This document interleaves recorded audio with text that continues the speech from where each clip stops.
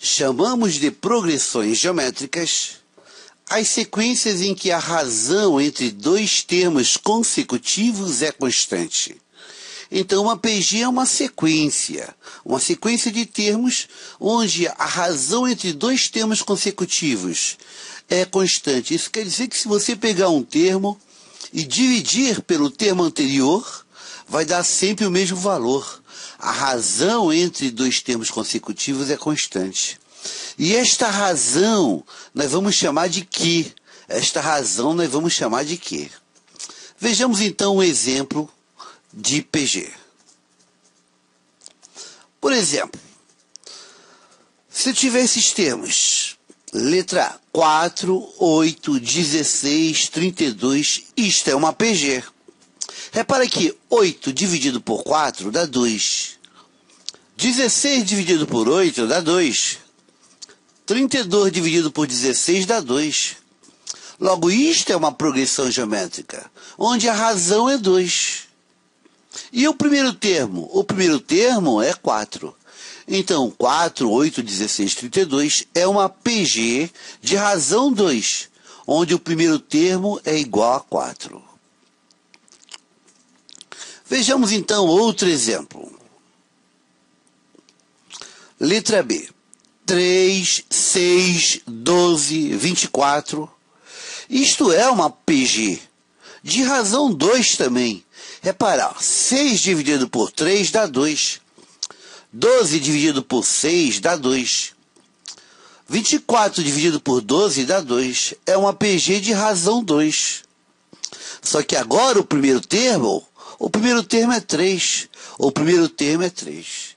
Então, a PG, onde o primeiro termo é 3, e a razão, o quociente entre dois termos consecutivos, a razão é constante.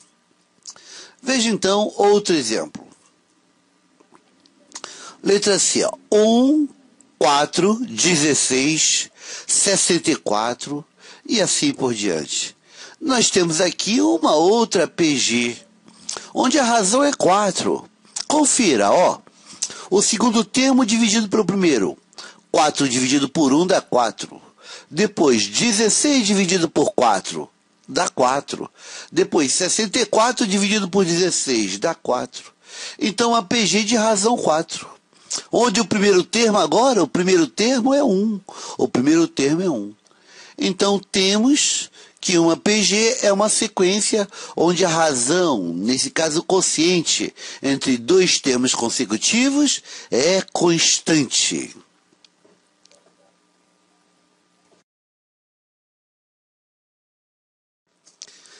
Bem, agora vamos falar sobre o termo geral da progressão geométrica. Termo geral da PG. Termo geral.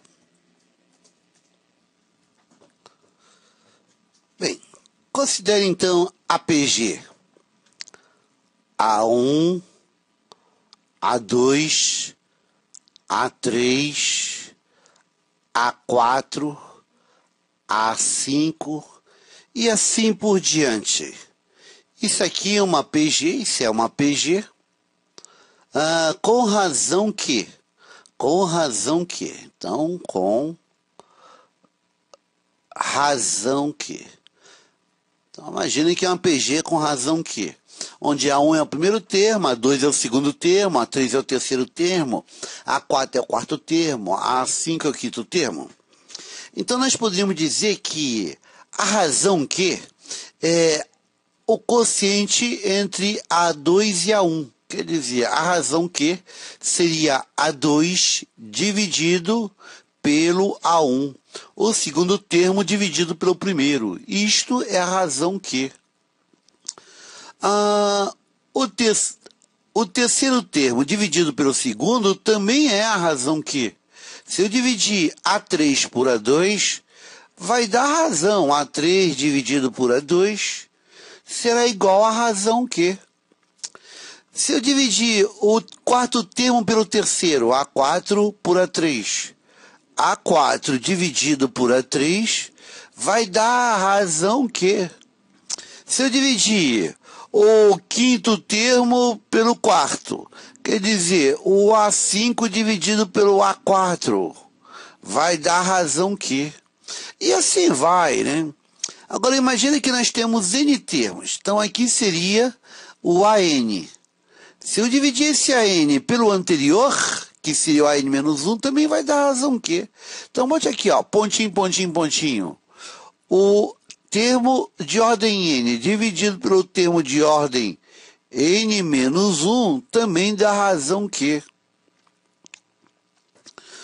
Então temos aí a PG com razão que.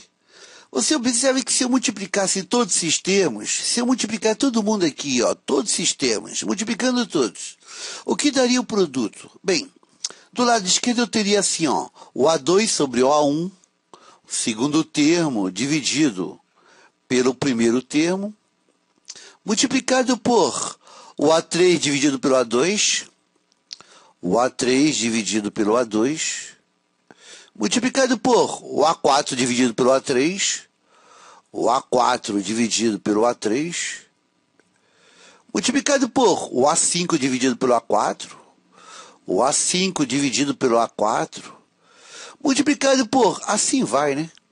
Até esse último termo, o enésimo termo dividido pelo termo de ordem n-1. Então, o AN dividido pelo A n-1. Então, se multiplicar todo mundo, fica esses termos todos multiplicados que estão do lado esquerdo. E do lado direito eu ficaria com Q vezes Q vezes Q vezes Q vezes Q. Quantas vezes Q? Ora, quantos termos nós temos? É fácil verificar que nós temos n menos um termos. Olha só. Aqui nesse, nesse primeiro termo aparece 1 embaixo, A1. No segundo termo aparece A2. No terceiro termo aparece A3. E vai até que no último termo aparece aqui o N menos 1, AN menos 1. Isto significa que nós temos N menos 1 termos. E se eu multiplicar Q vezes Q vezes Q vezes Q, N menos 1 vezes teremos Q elevado a N menos 1. Agora vamos verificar a soma do lado eh, esse produto do lado esquerdo. Repara aqui, ó, do lado esquerdo nós temos A1, A2 e, embaixo, e no segundo termo tem A2. Ó, tem A2 em cima e A2 embaixo. Quer dizer, esse A2 que está em cima corta com esse A2 que está embaixo. Você verifica que eu tenho A3 aqui em cima que corta com A3 aqui embaixo. Você tem A4 em cima que corta com A4 embaixo todos os termos vão, vão cancelando com o seguinte, né? Neste sentido. Isso quer dizer, por exemplo, que esse A5 ele vai simplificar com o A5 que estaria nos pontinhos, pontinhos. Sempre nesse sentido. Isso significa que esse último termo, AN-1, ele simplifica com um termo AN-1 que estaria nesses pontinhos aqui em cima. Então, multiplicando tudo, eu ficaria apenas com A índice em resumo, multiplicando, então, ficamos aqui em cima apenas com o A índice N, A índice N, e embaixo, como cortou todo mundo, ficou apenas o A índice 1 embaixo. E do lado direito você está com Q elevado a N menos 1. Logo, esse A1 está dividindo, vai para o outro lado multiplicando.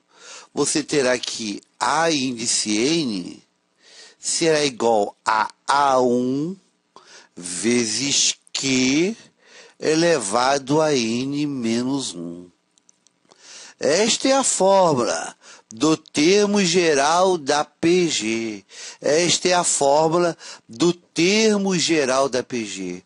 Temos aqui então a fórmula do termo geral da PG. Fórmula do termo geral. Termo geral da PG.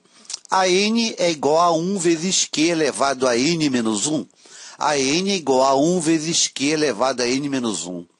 O nésimo termo é igual ao primeiro termo multiplicado pela razão elevado a n menos 1.